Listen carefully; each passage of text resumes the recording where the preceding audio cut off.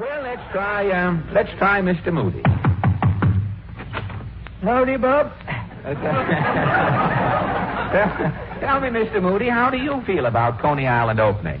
I only went to Coney Island once. It ruined my whole life. Well, how? Well, about 20 years ago, I sold my collection of speckled bird's eggs. I see. And I took the money and went to Coney Island. You were going to have a good time, eh? I had the world by the tail, and I wasn't letting go. Well, what happened? Well, as soon as I got off the train, a fellow sold me a red balloon. Yeah? Another fellow pinned a button on me that said, Chicken Inspector.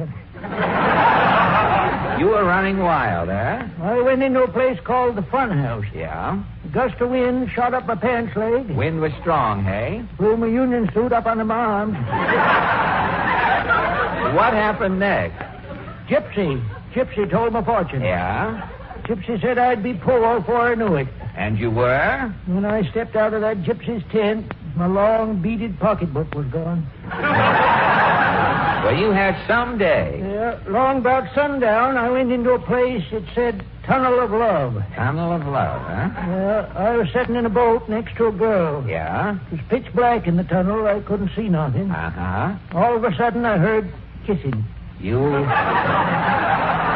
You heard kissing, eh? Yeah, the boat come out into the light. Yes? The girl's veil was up. Uh-huh. My mustache was wet.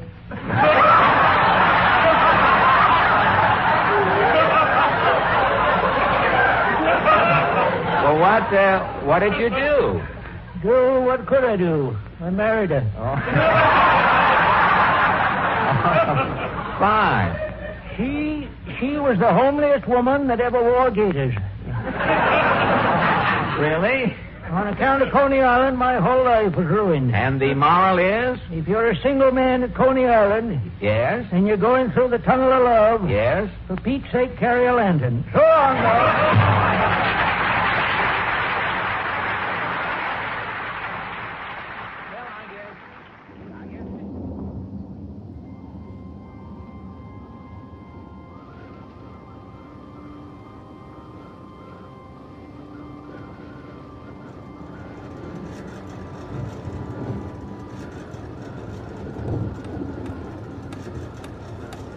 Saturday, May 27, 1911. Memorial Day opening weekend. It's 1:30 in the morning and we're at Dreamland Park. Owners have poured thousands of dollars into renovations. The park has been repainted cream and firehouse red and is lit by over 1 million lights. Workers are finishing changes at Hell Gate, a ride that takes visitors on a boat over rushing waters through dim, demonic caverns. In the haste to get everything ready for the open, something went wrong with the electricity and light bulbs began to explode. All at once, the lights flickered, and the men were plunged into darkness. A nearby worker accidentally kicked over a bucket of hot tar, igniting Hell Gate into flames. Most of the buildings at Dreamland Park were constructed using a combination of highly flammable wood, hemp, and plaster. Chaos ensued. Thirty minutes later, the entire park was engulfed in fire.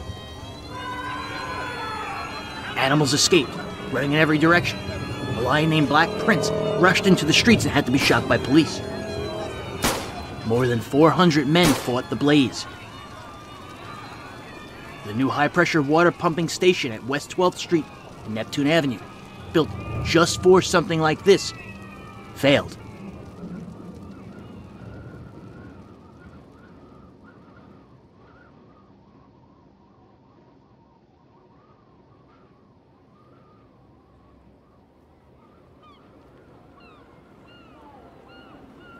By daybreak, Dreamland and much of the surrounding independent amusements were reduced to smoldering rubble.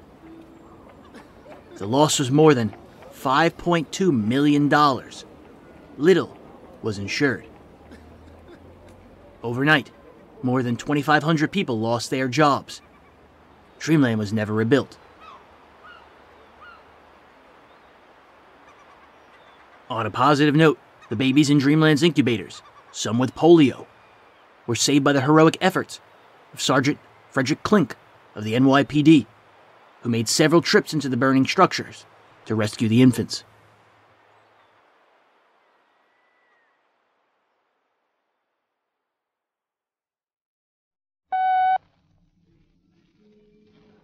Whispers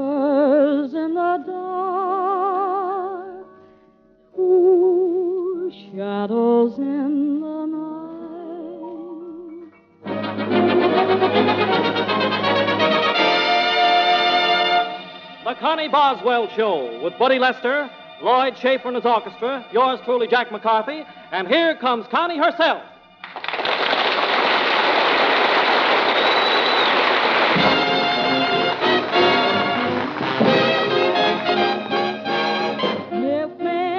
Well, my philosophy is very uh, simple, I think. Many people listening in do not know it or have forgotten it, but I had polio when I was three years old, and I was paralyzed from the top of my head right down to my toe. I couldn't move anything. They had to feed me through a tube.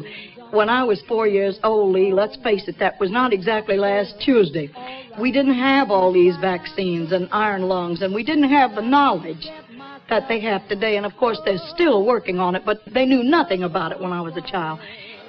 So my mother just started in a kind of a logical way, and uh, she started trying to make me crawl all over again to get the strength back. And within about six months after I had polio, the strength in my arms came back a little bit. And as I said, my family are musical. Mother wanted me to study cello, all classical music, and of course the practicing, you know, the, and I loved it. I adored it. I think practicing the cello helped bring a lot of strength back into my arms. I believe that that's a good philosophy in itself. People who, well, who even aren't handicapped or don't know that they're handicapped, because in my way of thinking, everyone is handicapped in some way or other. If a fine violinist has to get in a ring with a trained prize fighter, he is definitely handicapped one way or other. But the so-called handicapped people who have had accidents or blind people or can't hear, you just have to work twice as hard or sometimes ten times harder. I know going by myself, I have had to work so much harder than the average person. When I'd play theaters, the Roxy in uh, New York City, they had big production numbers and they didn't want you sitting low in a wheelchair. So we got an idea where I would sit on a tall cocktail stool and put the dress around and I learned to kick my feet out so that when I'd come with two course boys bringing me out all dressed up that I looked like I was walking at the time. And my, my philosophy is that everyone has a certain amount of talent.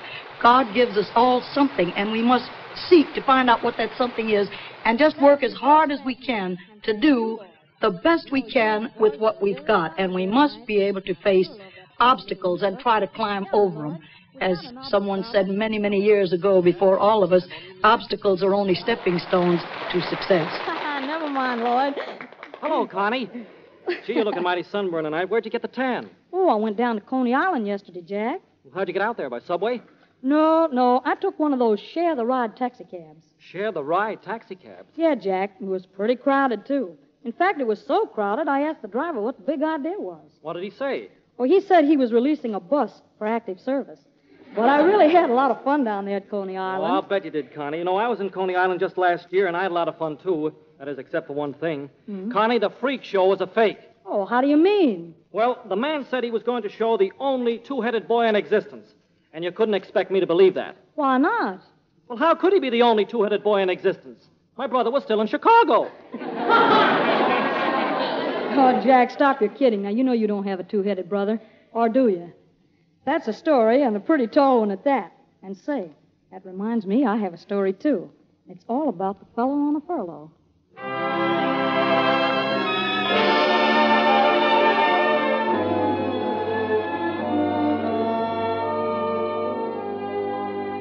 He's just a fellow. Connee Boswell was born on December 3, 1907, in Kansas City, Missouri. Although polio left her in a wheelchair, she sang with her sisters and in the 1930s had multiple hit records with Bing Crosby. Ella Fitzgerald once said that it was Connee Boswell whom she emulated.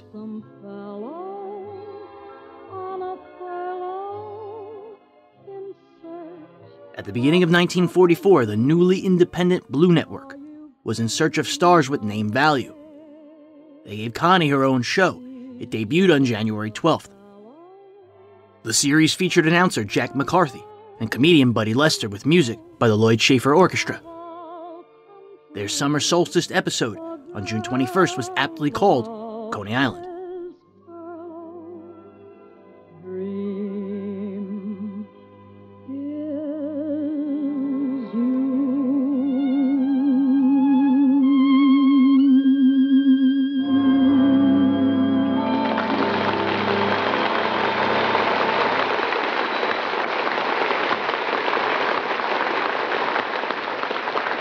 Thank you very much, folks. You know, Jack, I'm really beat. Boy, that Coney Island really knocked me out. Connie, I bet you saw just about everything in Coney Island. Sure did, Jack. And guess who I saw on the beach with a girl? Who? Our funny thin man, Buddy Lester. Buddy Lester with a girl? That's right. Are you kidding? The only way Buddy Lester can get a girl to chase him is to steal her nylons. Now, don't laugh, Jack. They were really having a wonderful time on the beach. Making love? No, mud pies. Did you hear that, Lloyd? Buddy Lester spends his time making mud pies. What are you laughing at? They taste pretty good. Look, fellas, when we get there, don't tell him that I was there too, 'cause I want to have a little fun. Okay, Connie, but here he comes now.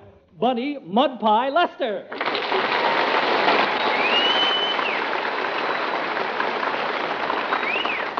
Hello, Connie. Hello, Jack. Brother, did I have a time at Coney Island? Hey, Buddy, why didn't you tell me you were going to Coney Island? I would have gone along with you. Well, I didn't plan to go. I just happened to be standing in front of a subway station. A big crowd came along, and before I knew it, Coney Island.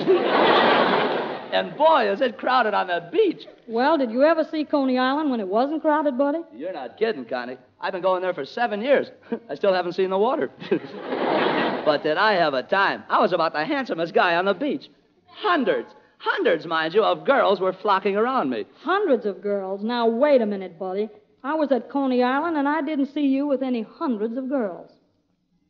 Who do you like better, Dick Tracy or the Summer Sisters? okay, let's get back to the script. Hey, Connie, but how did you like that bathing suit I was wearing? Oh, swell. But don't you think the sleeves were a little long? Well, maybe, but the stockings were a good fit. but that's nothing. You should have seen what some of those girls were wearing. Well, what are the girls showing at the beach this year, Bud? Almost everything. you know, give some of those girls an inch, they got a bathing suit. and the crazy things those girls do at the beach. Why, one of them even went in the water. I saw. Thank you. I, you know, I saw a brunette walking around all day with a bottle of peroxide in her hand. A brunette with peroxide. Sure. She was trying to establish a bleach head. Say, Buddy, uh, Connie was telling. On the day the episode aired, Steeplechase Park was closed. Edward Tilyou, son of the late George C. Tilyou, passed away after a long illness on June 19th. So happens. And it so happens- Steeplechase remained closed for the following three days. You know my girl. You know that. Two months later, on August 12, 1944, a fire gutted nearly half of Luna Park. A dozen main attractions were destroyed. Unfortunately, building materials were strictly rationed because of World War II. Luna's owners charged a dime to view the ruins. The park would never fully reopen.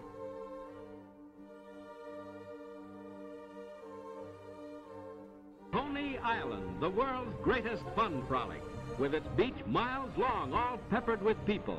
The place where merriment is king. In 1946, Luna Park's land was sold for $275,000. The new owners announced their intentions to build a housing project on the property. On October 5th, wreckers, dismantling the park, touched off a four alarm fire. It burned for 10 hours. By the time it ended, only the park's administration building, ballroom, and pool remained. Simultaneously, as Americans began to flood the suburbs, New York City's Parks Commissioner Robert Moses saw an opening. He hated Coney Island with its cheap, amoral working class entertainment. Moses was hard at work getting the amusement land rezoned. He planned to wipe out any traces of Coney's past. During the day, the area was still a hotbed for beachgoers, sunbathers, and Nathan's hot dog eaters. But after dark, Coney, now filled with vacant land, transformed into a seedy underworld.